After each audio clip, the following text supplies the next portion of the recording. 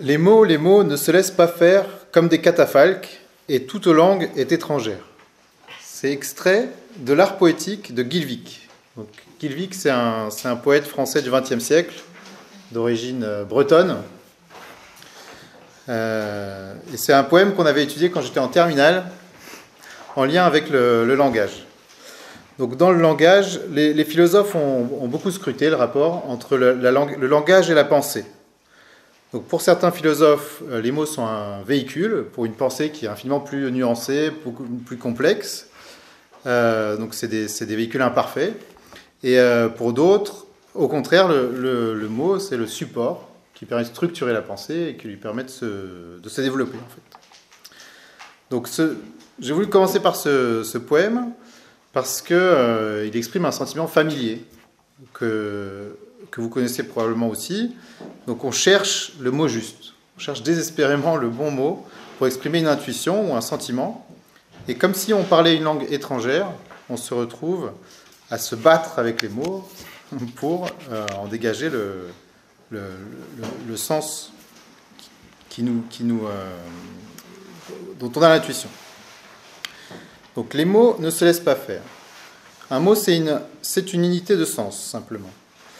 Euh, par exemple, on appelle un chat un chat.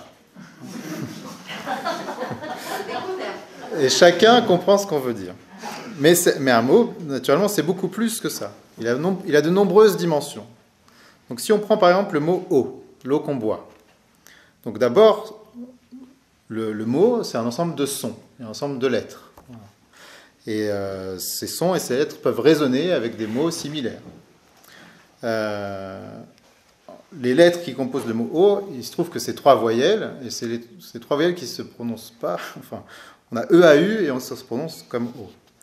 Alors après, euh, à travers le contexte, le mot va activer un champ de sens qui, lui est, qui, est, qui est propre à la langue et au contexte dans lequel il se trouve. Donc, euh, par exemple, si je parle de l'eau dans un livre de chimie, donc ça va m'évoquer H2O, les atomes, ça va m'évoquer ses propriétés physico-chimiques, ça va m'évoquer sa conductivité, son diagramme de phase, euh, ses propriétés particulières comme solvant, etc. Si je parle de, littérature, ça va m'évoquer autre chose, de géopolitique, encore autre chose, euh, des théologies ou de, voilà, de religion, ça va m'évoquer encore tout un champ euh, différent. Donc finalement, cette unité de sens, ce, cet atome de sens qu'est le mot, euh, il est beaucoup plus large en fonction de son contexte, en fonction de la langue dans laquelle il est utilisé, et euh, en, fonction des mots qui sont à côté de lui. Donc tout, ce que je viens de dire, on peut le dire de manière générale euh, des mots. Aujourd'hui, on va plutôt s'intéresser à l'importance des mots et de la parole dans notre relation avec Dieu et avec notre prochain. C'est ça qui, nous intéresse. Donc euh, pour la soirée d'ouverture de, des 10 ans, Moi, je suis, voilà, je suis très content de vous voir si nombreux, euh, qu'on est, qu'on est arrivé jusqu'aux 10 ans. Donc ça, c'est, vraiment un, un, chemin parcouru et je pense aussi une, une ouverture pour la suite. Donc j'ai choisi de faire une introduction linguistique au dialogue, de parler du dialogue depuis l'angle de vue du langage. Je, bon, je, je, j'avais beaucoup d'idées, je me suis battu avec les mots. Euh, je vais vous livrer ce que j'ai réussi à sortir. Il y aurait encore beaucoup de choses à dire. C'est euh, voilà, un, travail en, progression. Donc, dans les sessions que nous avons organisées ces dernières années, on avait toujours commencé dans la première soirée avec une introduction au dialogue pour donner un contexte, euh, un contexte qui va nourrir les expériences de ces deux prochains jours. Donc, je vais, je vais essayer d'explorer d'abord l'importance de la langue et des mots dans nos deux traditions et ensuite évoquer des textes que nous avons en commun et de quelle manière ces textes à la fois nous, nous, nous rapprochent, nous, nous, euh, nous, unissent et de quelle manière en même temps ils nous, ils nous séparent. Et à la fin, je vais décortiquer assez rapidement le nom de l'association pour essayer de, de, définir les termes qui le composent. Donc, commençons par constater que euh, pour les juifs comme pour les chrétiens, la parole tient une place primordiale. Donc ça commence euh, dans la Genèse, la première parole est prononcée au troisième verset. Dieu dit que la lumière soit et la lumière fut. Euh, J'ai pas l'hébreu en tête, mais voilà. Donc la parole est d'emblée présentée comme dotée d'une force créatrice.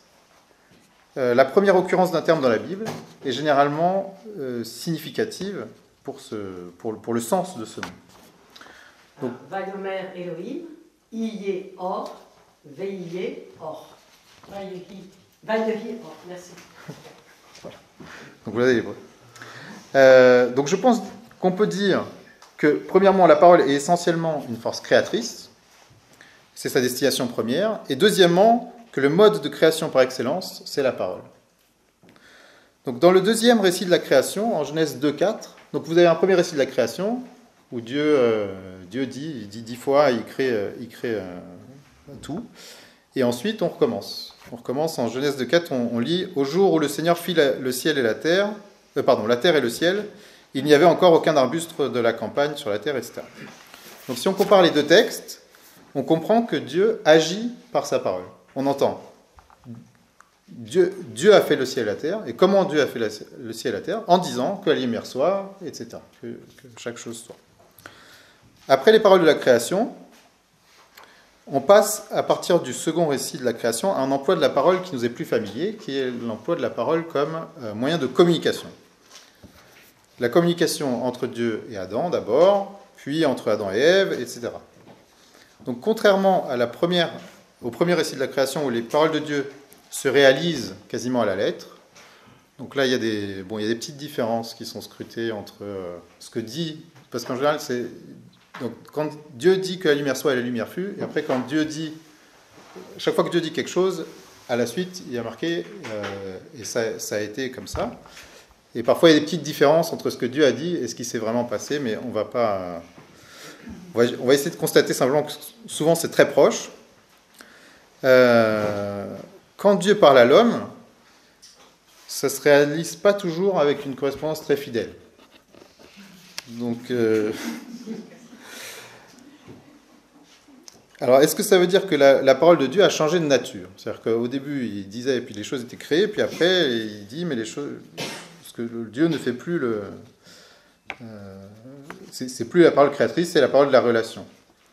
Alors, je pense que c'est toujours la même, la, même parole créatrice, simplement, maintenant, il y a la liberté de l'homme qui entre en jeu. Et donc Dieu, par une infinie patience, va éduquer et modeler l'homme par la parole pour l'amener au salut. Donc, à ce sujet, il est intéressant de noter que le mot Torah, euh, que nous on a traduit par nomos en grec et par loi en français, fait intervenir l'idée d'instruction. Donc là, je parle sous le contrôle de euh, spécialiste de, aussi du lexique. Euh, donc je cite effectivement. Donc j'ai amené le livre Lexique pour le dialogue. Donc vous avez l'auteur ici, si vous avez des questions. Euh, donc Anne-Marie note la, traduction habituelle par loi est insuffisante pour rendre le dynamisme du mot hébreu. La Torah, plus qu'un ordre, est une orientation, davantage qu'un appel à l'obéissance, une incitation à participer, plutôt qu'une loi, un chemin. Donc on comprend mieux la place si importante du chemin. Donc écoute Israël, l'Éternel et notre Dieu l'Éternel est un. En effet, pour que l'homme puisse être façonné par la parole de Dieu, la condition indispensable est l'écoute.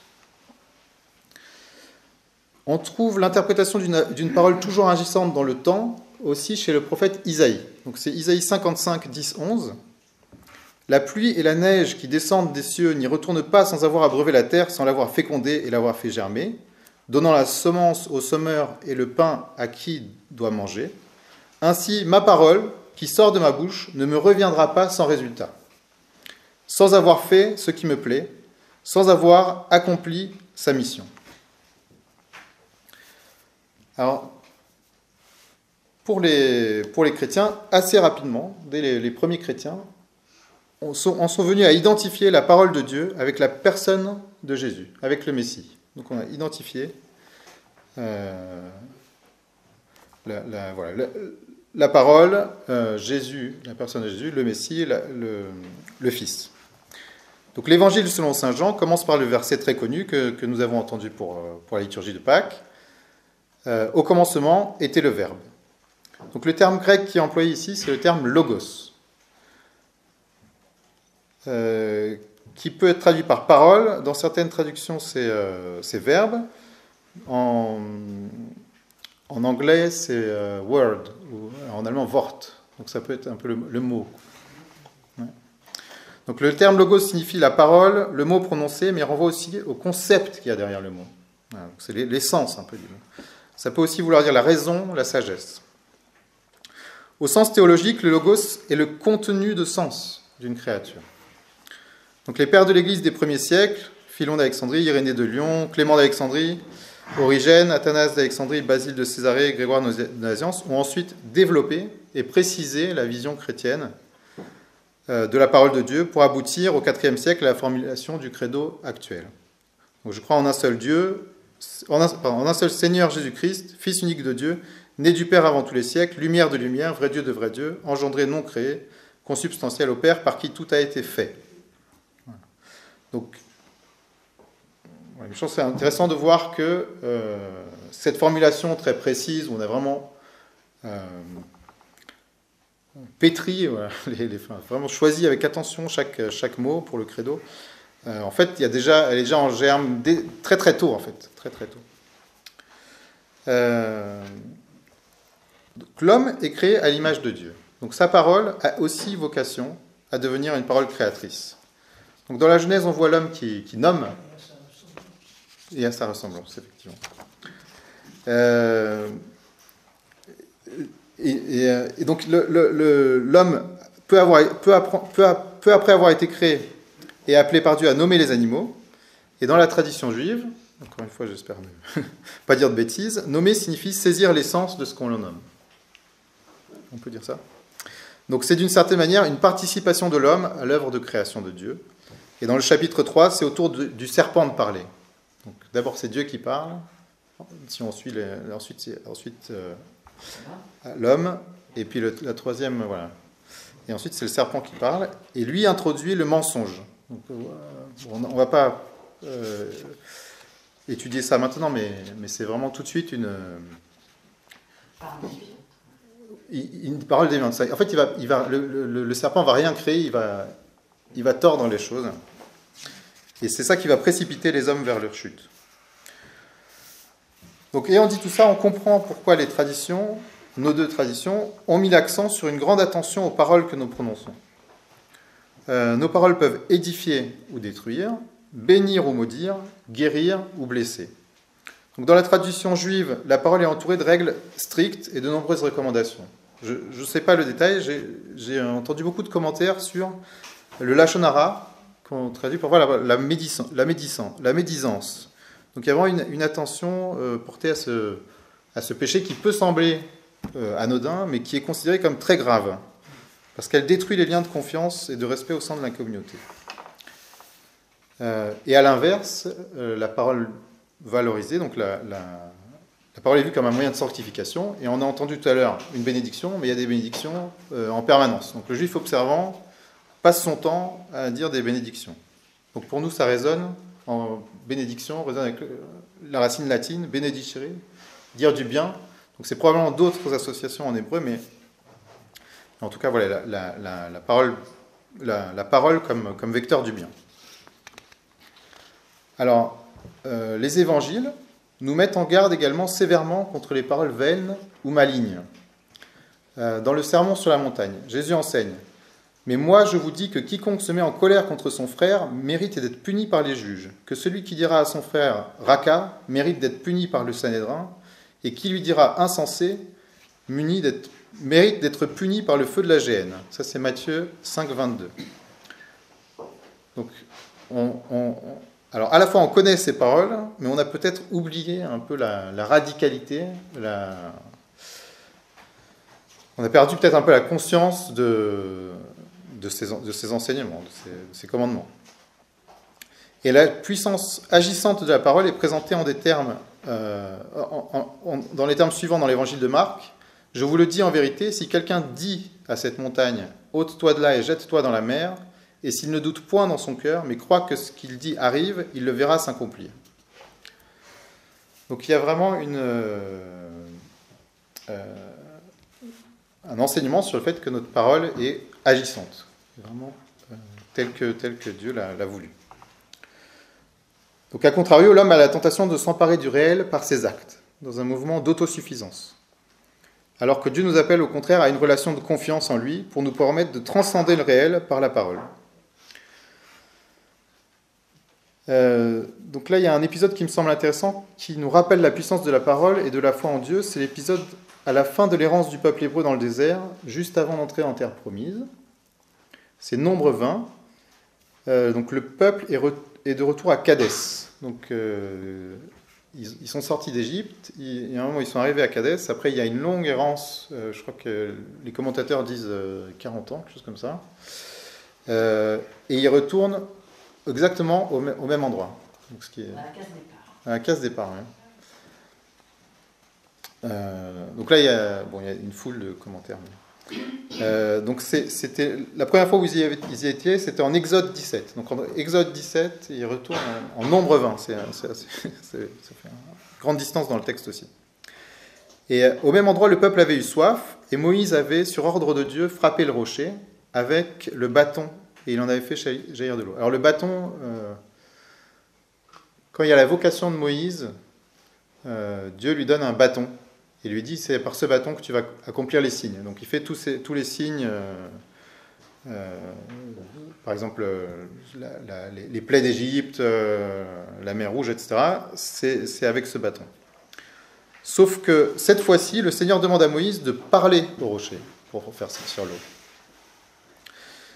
Euh, et, Moïse, au lieu de, parler au rocher, il va le frapper. Il va le frapper deux fois.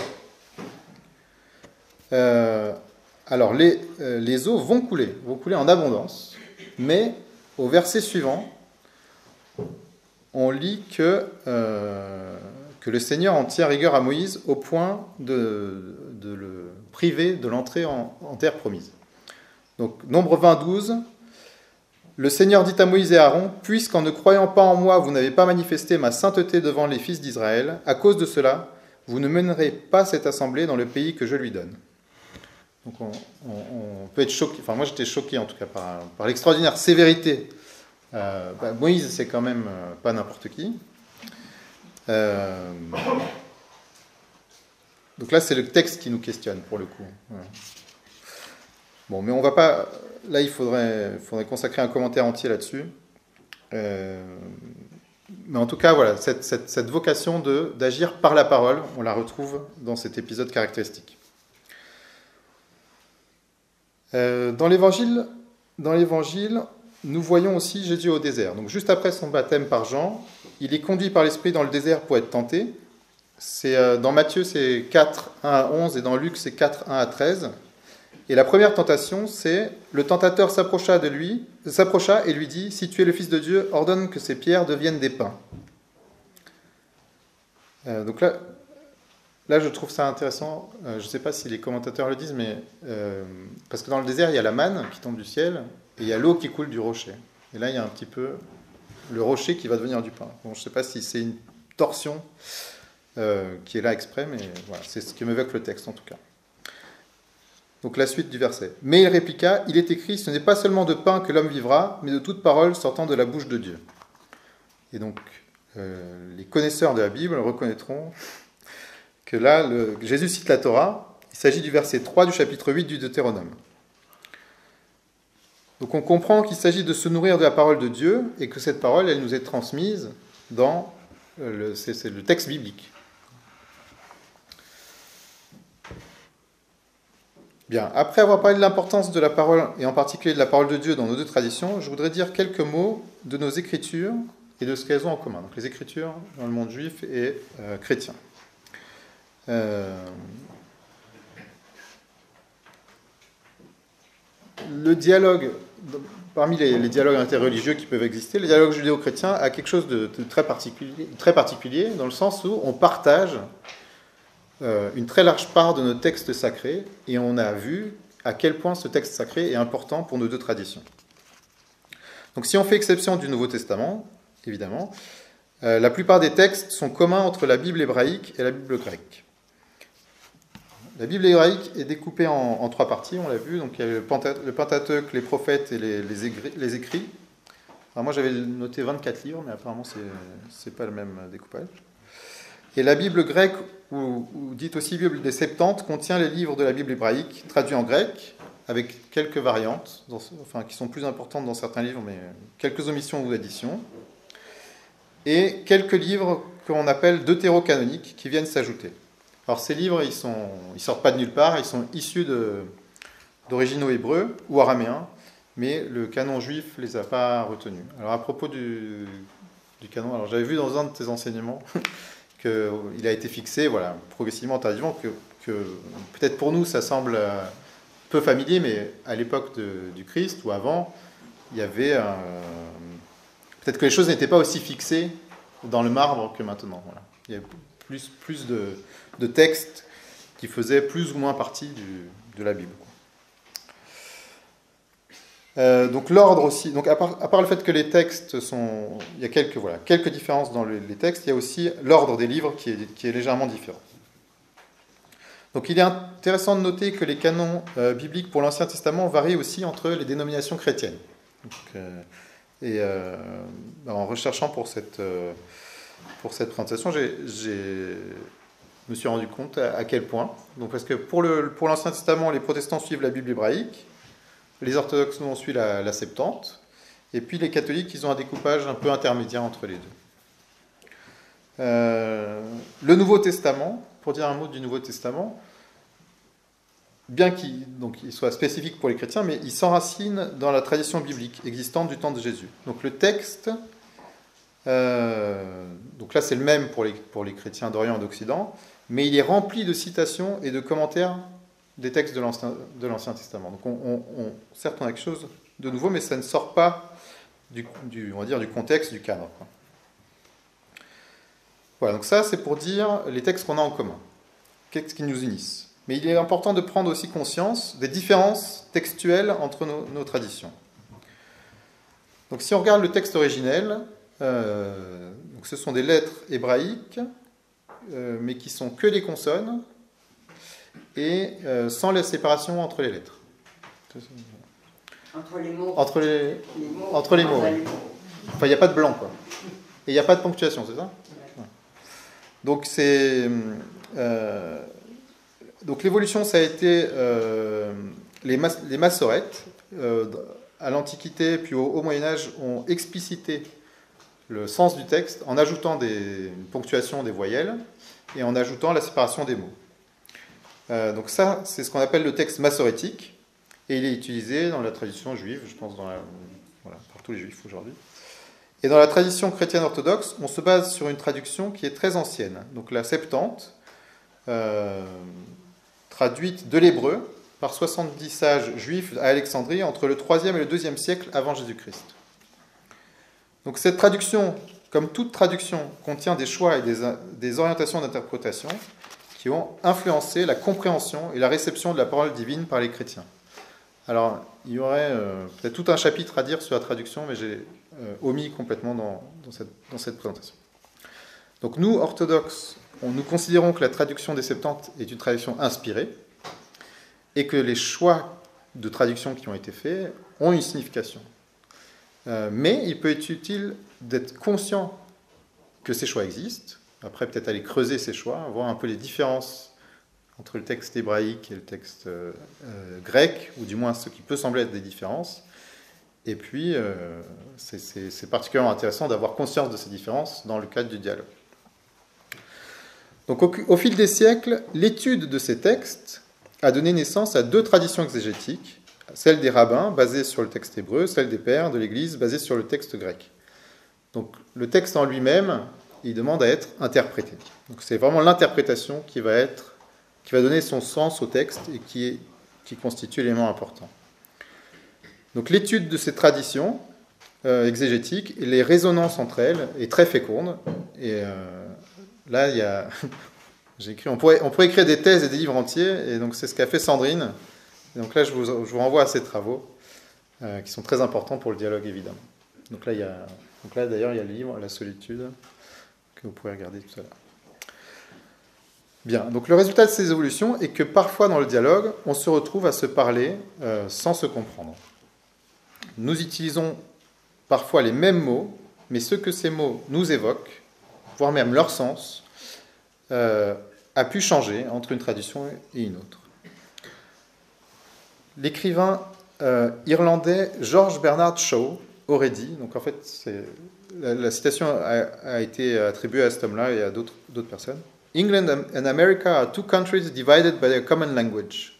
L'Angleterre et l'Amérique sont deux, pays séparés par une même langue. je pense qu'on peut dire quelque chose de, similaire des juifs et des chrétiens.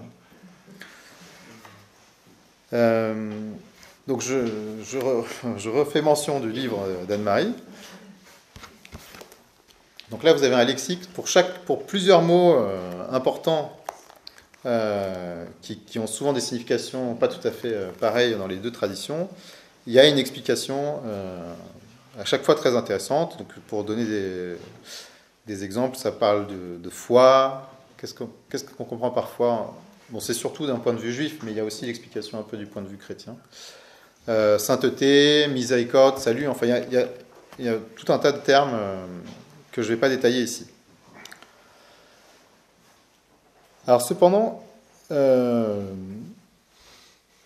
je me suis demandé si cette, euh, si cette, si cette différence de regard sur les mots n'est pas, pas signifiante. Parce que euh, si on regarde l'épisode de la tour de Babel, donc c'est Genèse 11 de 1 à 9, nous voyons qu'il y a une situation de départ où tout le monde parle le même langage se sert de la, même langue et des mêmes mots. Il a, effectivement évoqué les mêmes mots. Et cette, situation de départ conduit à une situation inacceptable. Et donc Dieu décide d'intervenir et il confond le langage. Le verset dit pour qu'ils ne s'entendent plus les uns les autres. Donc cela intervient à un moment où les hommes tentent de s'emparer du ciel, donc de construire la tour pour, euh, pour monter au ciel, pour s'emparer de Dieu, euh, simplement par leur capacité à agir, alors qu'on est appelé, on avait vu, à utiliser la parole. Donc, je, pose la question, je ne sais pas si cette interprétation est correcte, mais peut-être que Dieu, dans cette confusion des langues, ne nous aurait-il pas euh, remis sur le chemin d'une compréhension mutuelle, paradoxalement? En, coupant, en, nous, en faisant en sorte qu'on ne s'entend plus les uns les autres, il nous a euh, mis sur le chemin d'une compréhension plus profonde, basée non sur une uniformité, telle que celle du projet plein d'ubris euh, de, la Tour de Babel, mais au contraire, la communication entre des personnes singulières. il a mis cet obstacle pour qu'on change d'approche. je, viens déjà vers la fin de mon introduction et je vais parler un petit peu euh, de Kodj, donc chrétien orthodoxe en dialogue avec les juifs. Donc j'ai essayé une explication de texte, on pourrait dire probablement beaucoup plus de choses, mais je vais donc essayer de décortiquer. Donc chrétien. Donc là, je me suis un peu appuyé sur la présentation de Père Jean-Claude à, à. Donc les chrétiens sont les, les disciples euh, de Jésus, virgule le Christ. Tu avais dit, voilà. De Jésus le Christ. C'est à Antioche que les disciples furent pour la première fois appelés chrétiens, ce que nous enseignent les actes des apôtres, acte 11, 26. Euh, ce qu'on voit, c'est que les deux principales activités de l'Église primitive à ce moment-là, c'était d'un côté le rassemblement de la communauté pour célébrer l'Eucharistie, et d'un autre côté l'enseignement et la proclamation de l'Évangile, qui signifie la bonne nouvelle. Donc on voit aussi l'importance de la parole, de la proclamation de la parole.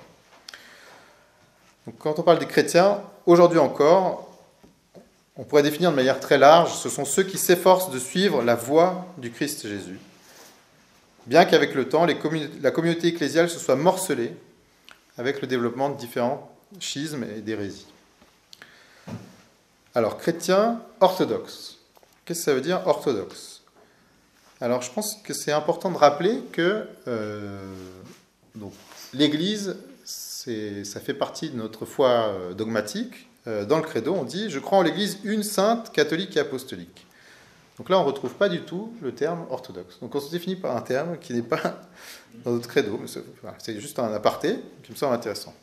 Donc orthodoxe, euh, donc ortho, qui est composé de deux racines, euh, grec ortho et doxa, qui est parfois traduit par foi droite, parfois par juste glorification ou des, des nuances un peu dans ces.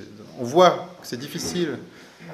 Alors, juste encore une aparté, c'est que quand vous avez un théologien orthodoxe qui fait une conférence, il ne peut pas s'empêcher d'utiliser les mots grecs et de dire ah c'est difficile de les traduire, c'est pas tout à fait le sens en français. Donc l'Église, si on devait résumer, l'Église orthodoxe met l'accent sur la fidélité à la tradition et la compréhension juste de la foi telle qu'elle a été définie par les sept conciliés communiques. Donc là, je, j'en profite pour euh, rappeler que l'événement qu'on vit aujourd'hui, enfin ce week-end, s'inscrit dans une initiative plus large, qui est l'initiative de l'année des justes, qui sera composée de différents euh, éléments. Et donc là, ça serait aussi un, thème assez fécond. Euh, donc après le schisme de 1054, le, ah oui, je voulais aussi, je voulais aussi après le schisme de 1054, lorsque l'Église de Rome s'est détachée des quatre autres patriarcats, l'adjectif orthodoxe a été attribué à la partie orientale du monde chrétien. Mais ça, ça a été une attribution assez euh, tardive. J'ai lu euh, que c'était le 15e siècle. Euh, donc, chrétiens orthodoxes, les orthodoxes, ça désigne aujourd'hui une communion d'églises locales autocéphales. Et les chrétiens orthodoxes, membres de ces églises, le deviennent par le baptême ou éventuellement sont reçus par chrismation lorsqu'ils ont reçu le baptême dans d'autres. Éventuellement par. Chrismation. C'était bon, pas être précis, voilà. Bon, le... Ouais, ouais, bon. Non, c'est, voilà, c'était pour être. Euh, bon, disons par le baptême. Alors, euh, maintenant le dialogue. Donc, dialogue, encore une racine grecque. Donc, dans le sens. La définition de dialogue, c'est une conversation entre deux ou plusieurs personnes. Ça implique un échange d'idées de points de vue ou de sentiments dans le but de se comprendre mutuellement, de résoudre des problèmes ou d'apprendre les uns des autres. Là, jusque-là, euh, la signification colle tout à fait. Donc, les racines grecques, c'est dia, qui peut vouloir dire à travers, par l'intermédiaire de, entre. Et l'autre racine, c'est logos, donc la parole dont on a parlé tout à l'heure, ou le discours. Donc pour moi, ce que ce mot, euh, ces racines évoquent, c'est que le dialogue, c'est le lieu fécond où deux paroles, deux conceptions du monde se font face. Alors elles se font face, ça peut être un peu de l'achoppement, mais euh, ou de la collaboration, et finalement ça, a une certaine fécondité. Alors le dernier euh, terme, c'est les juifs. Donc là, je m'appuie encore sur le même livre. Le mot vient de l'hébreu Yehudi, qui lui-même vient du nom de Judas. Euh, donc Judas, c'est le fils de Jacob, euh, et qui est le père de la tribu de Judas. Yehudi a d'abord désigné les habitants du royaume de Juda avant de s'appliquer par extension à tout fils d'Israël. Euh, peut-être que les chrétiens qui ne sont pas dans le dialogue n'en ont pas conscience, mais le, judaïsme est traversé de courants très, très variés, très divers. Alors on caractérise souvent le judaïsme orthodoxe, ensuite le, les massortis ou conservatives et le judaïsme libéral, mais euh, en dessous de ça, euh, il y a une diversité assez incroyable. Et euh, donc cette, dichotomie orthodoxe massorti libérale, c'est en fonction du rapport à la halakha, à l'observance de la loi juive. Donc savoir précisément qui est juif peut s'avérer compliqué, puisque l'identité juive est très diverse. Donc certains vont comprendre euh, la judaïté comme une compréhension très religieuse, euh, et, ça peut aller euh, vers une compréhension plutôt culturelle ou communautaire. Donc, les juifs athées, par exemple, ce qui peut sembler. je ne pense pas qu'il y ait de chrétiens athées, par exemple. Donc là, pour citer le livre d'Anne-Marie, il est admis que qu'est juif l'enfant de mère juive et qui vit en juif. Donc on voit qu'il y a deux dimensions qui sont celles une composante un peu généalogique et une composante qui est liée à, l'observance de la loi juive. Donc c'est plutôt qu'une affirmation d'une foi dogmatique, c'est vraiment une, question de, de, pratique. Et de filiation. Voilà, il y a la partie génétique. Mais même, il faut que la transmission soit faite par le père. Il y a la, la filiation biologique, mais vivre en juif, comment on peut vivre en juif si ça ne lui a pas été transmis pour ça? D'accord. Filiation aussi par la transmission. Il y aura des questions. voilà, donc c'est. Euh, alors je pense que c'était dans une conférence de, du rabbin Rivon Krigier, où il disait que c'était euh, une orthopraxie. Euh, en guise de conclusion, je vais citer une phrase de, de Roland Barthes. Qui, il a écrit un livre qui s'appelle Sur Racine. Alors lui parle de la littérature.